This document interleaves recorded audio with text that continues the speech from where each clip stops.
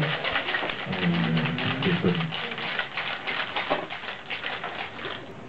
というか形で簡単に振るスタイルです